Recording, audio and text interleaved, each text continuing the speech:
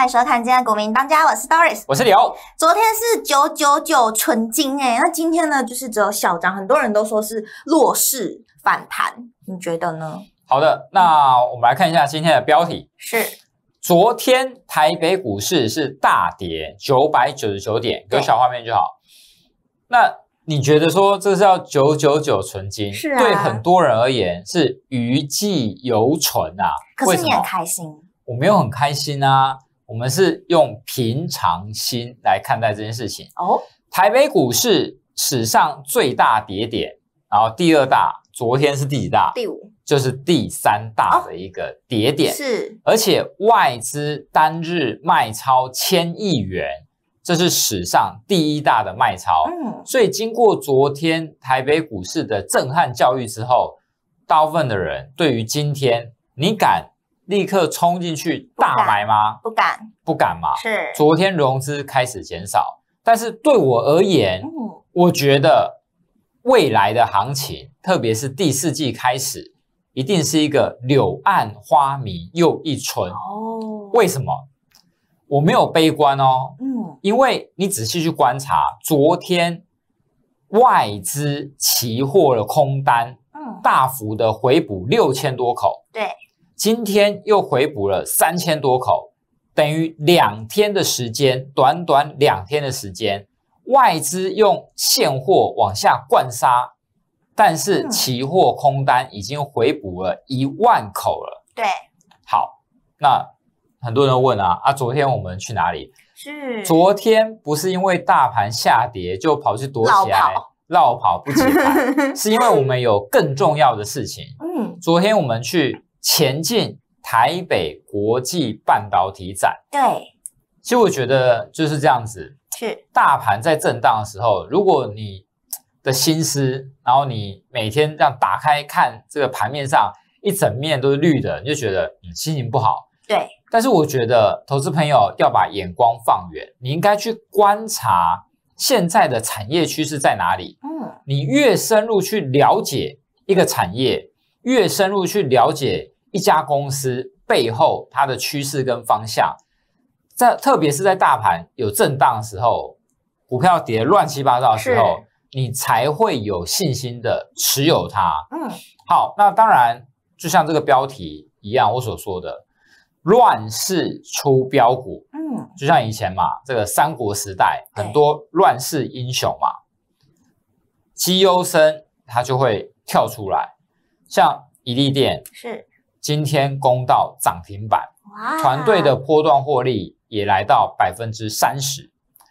好，那我们有赠送大家研究报告嘛？嗯别忘了还没索取的要怎么办？在影片下方填写表单，或是拨打电话进来零二七七二五一五零零，好，那影片正式开始之前，也别忘了。加入老师的 Line 还有 Telegram，还有老师的个人频道订阅起来。好的，那当然，昨天这个卖超外资是第一大嘛。对，好，那特别的是什么？你知道吗？什么你去观察这个过去这个卖超的嗯前十大里面，你有没有发现有几次？一二三四五六七七次都是落在今年。对，好，那这个是前五大的这个跌幅，嗯，你有没有发现前五大跌幅全部都是二零二四，嗯都是今年？为什么会这样子？对啊，因为我们现在指数很高嘛，超过两万点嘛，它的波动就会特别大。哦所以二零二四年充满了机会，在上半年很多股票涨翻天嘛，但是它也有一些风险存在。嗯，那所幸风险已经过了差不多了，真的吗？我相信接下来迎接我们的就是一个美好的第四季，跟这个比较明朗、比较明确的二零二五的第一季。好，为什么现在市场上有点担心？当然，外在环境因素，比如说美国总统大选，嗯，大选前市场在观望嘛对，到底是这个川普川普还是贺锦丽呢？对对不对？大家会害怕嘛？万一川普当选怎么办？是不是？是美中贸易战、科技战又搞得一团乱？对，那也会担心说日央它接下来升息的角度、升息的这个步伐嗯，到底是怎么样？是，好，那大家会有一些不确定的因素存在。那市场就会观望。但是我觉得股票市场就是这样子，是人气我取嘛，嗯，人家在观望，人家在害怕的时候，存在不确定的时候，就是你的好机会。好，等待股票市场都已经涨上去了，看起来一片乐观、万里无云的时候，你才进去买。其实那时候你可能会觉得很安心、很放心，没有错。可是你的报酬、你的空间就变小了。是好，所以大家都提到说，这个九月有九月魔咒嘛。是，好，那台股崩跌，有可能会形成第二只脚。那我就问啦、嗯，什么叫第二只脚？啊，我们你们有第二只脚吗？有啊，每个人都两只脚嘛对嘛。啊，好，什么叫第二只脚？所谓的第二只脚，就是你看到前面这波杀盘杀下来破两万，是，后面反弹到了前坡的高点附近，嗯，它会有压力。投资朋友看到前高就在前方，他会习惯性的想要卖一些股票，调节一些股票，这叫做价格惯性。哦，好，后面又拉回来，稍就像这次这个修正嘛，嗯，小幅的修正。好，这个修正只要第二只脚的低点没有跌破第一只脚的低点，嗯，那这叫做黄金右脚。哇，什么叫黄金右脚？没有跌破嘛，嗯没有跌破前低嘛，然后它就开始形成一个反弹，然后过颈线就是确认这个右脚打底完成。嗯，但是右脚打底完成一个非常重要的关键，就是右边在突破颈线位置的时候，成交量要非常明显的放大。那你看这一波在出现这个右脚杀下来之前，是，成交量都在三千亿左右，甚至于更低。对，就是说市场是一直观望的，一直在看，你看我，我看你，连当冲客都不太敢买。嗯，可是昨天成交量一下子就杀出来了，对，砍到这个五千亿左右。嗯，为什么？就是有另外一波人出来停损了，出来卖股票了。那今天很快的成交量又萎缩到剩下三千两百一十而已，是，我认为这是一个好现象，是一个好现象。好，接下来你就是要观察什么时候能够站回颈线位置，然后右边带量突破。嗯，好，那当然我对于接下来行情为什么是比较偏向乐观，除了刚刚所提到的这个外资期货的空单开始回补以外，对，关谷行库昨天大买两百一十七亿，史上最大，是。证明了政府是有在看的，你知道吗？嗯，期货空单九月四号减六二二八，九月五号减三八四七，刚刚提到嘛，两天减了一万口。嗯，基本面来看，台积电的这个共同的执行长哦，他名字很特别哦，是，乍看之下好像什么玉米，对。他叫他叫米玉杰，好好，这是台湾人，不是外国人，很嗯特别的信啊，这个你看都印象深刻。对，但更重要的是他所说的话，他说 AI 有巨大的机会，什么机会？未来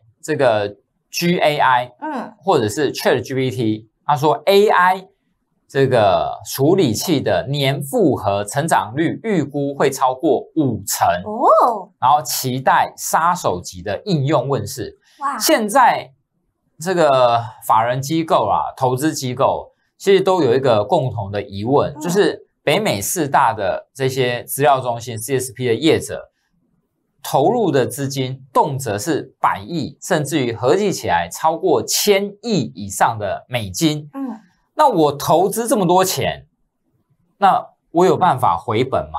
对不对？那有没有办法回本？关键是你的商业模式，嗯你的商业模式，你的终端应用到底在哪里？是，那在去年五月份，为什么 AI 会红？那就是因为突然看到 ChatGPT，哇，好厉害哦！我只要这个生成式 AI，嗯我只要打字问的这个机器人，对好，这个生成式 AI 机器人有什么问题，我问他，那他就给我这个回复，给我回复这个答案。嗯，然后 ChatGPT 不断的进步，可是这一块 OpenAI 它的收入仍然是这个小于它的支出嘛？对，那相关的应用怎么感觉好像没有更多的应用出现？嗯，其实有的，它会越来越多。比如说以前是文字的，是，好，你问他文字问题，后来变成图片的，用以图生图，再进化到什么？用影片生用文字生成影片，或用影片生成影片。哦好，或者是你用机器人去训练。嗯，以前的机器人，你要告诉他怎么样拿这个桌上的苹果，是要写一条程式，告诉他要怎么拿，什么角度切入，什么样的力气来握起来。现在不是哦，现在是我给这个机器人训练，给他图片，怎么给他影片，怎么样拿苹果，或怎么样握一个东西，或者怎么样站立，怎么样前进，怎么跑步，我是给他看很多很多很多影片，他学会了，他就会做这个动作，哇，好厉害！是完全不同的概念，跟以前是不一样的。好，所以台积电 CoWAS 产能对，火速扩展，从去年到今年 CoWAS 的产能翻一倍，嗯，那明年比今年会再翻一倍，二零二六年还会再拼，再往上成长。所以相关的设备商对，代表股就红硕嘛，是，喷翻了嘛。这个去年还这个五百块，嗯，到今年已经到两千块了。好，所以昨天我们干嘛？我们去参观这个国际半导体展嘛。对，好，那当然展会上有非常多的这个呃专业的这个厂商，但是呢，还是有一些投资人，嗯，啊，有一些投资机构会去看到底，哎，相关的公司啊很多啊，到底这些公司未来展望是什么？是，好，当然啊，我觉得让我们比较熟悉的，我们我有去看这个广运的展场嘛，嗯，如果你单看股价，你就觉得说，哇，这个我们去，我们今年代表说，我上半年嗯。买在这个五十八块、五十九块、六十块，这样一路上去，好翻倍嘛，我们赚翻倍，融资二点五倍，嗯。虽然没卖最高，没卖到一百四，好，那又如何？杀下来，其实我们在这一波跌破现增价九十，再度进场，嗯，其实这个我们买的位置是相当好的，因为它是在跌破年线，跌破两百日线。好，那现在这个位置刚好也是在支撑区附近，差不多。但是如果你从股价来看这家公司，就显得怎么样？肤浅了，对，肤浅了，格局小了。为什么？其实你要看一家公司未来展望，你要知道它的产品到底做什么的。嗯，未来的发展趋势在哪里？它现在最重要的发展啊，水冷哪方面的水冷？两项静默式，两项静默式最重要就是里面的介电液嘛，嗯，介电液价格非常高，可是以前介电液是有污染的，那现在要做什么？无氟的介电液要认证嘛，对那，再来是介电液要维修的时候盖子打开会挥发嘛，是，耗损很多，哎，可是介电非常非常贵哦，嗯，所以介电液的要如何让它的耗损率能够低于这个厂商要求的千分之五？那再来是八十 k 瓦的这个塞卡水冷的这个塞卡是，CDU 嘛，甚至于整台的这个机子要怎么做？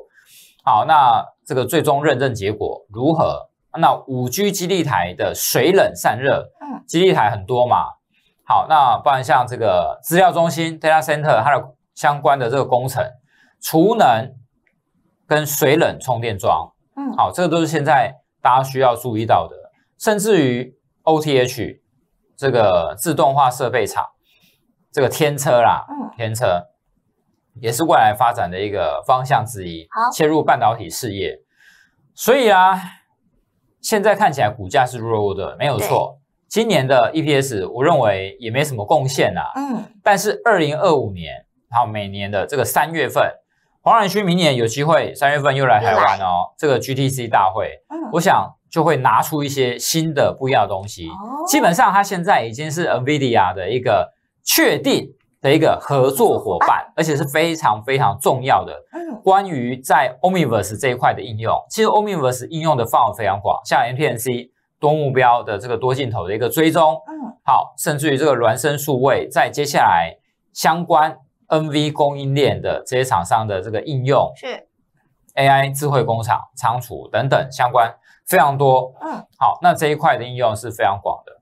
好，值得投资朋友在后续持续的去做观察，而不是每天只看着股价这样涨跌，这样你会很辛苦了。好，好，那另外一档股票，这个二四九七一电，电，昨天大盘重挫哦，对，一千点，它当天杀低，然后拉起来，攻到快涨停，飙了十七趴。嗯，昨天投信第一天开单五百九十张，三大法人都买，嗯哎、你很奇怪啊。昨天大盘下跌，一千七百档股票都跌，它可以从下跌拉到单日飙十七趴，结果为什么？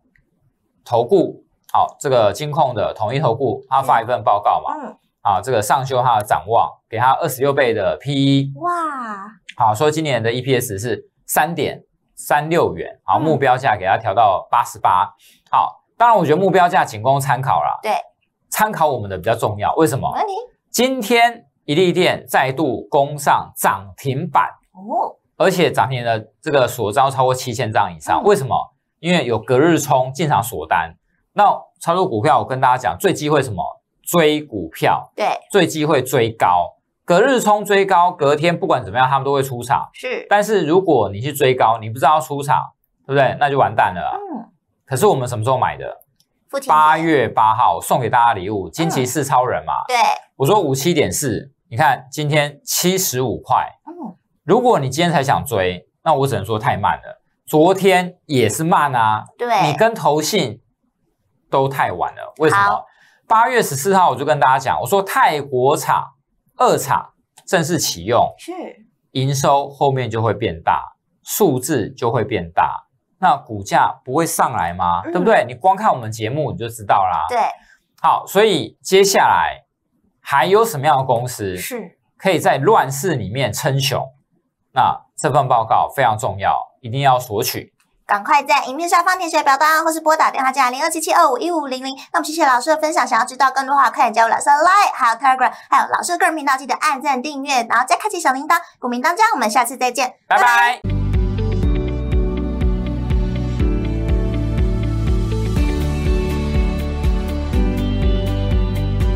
本公司以往之绩效不保证未来获利，且与所推荐分析之个别有价证券无不当之财务利益关系。本节目资料仅供参考，投资人应独立判断、审慎评估并自负投资风险。大家好，我现在人在善导寺，我们就来看看善导寺附近的路人都在听什么歌吧。哎，同学同学，你现在耳机里听什么歌啊？我在听这个，哦，订阅理财周刊频道，我也很喜欢这个哎，太有 sense 了吧！拜拜拜拜。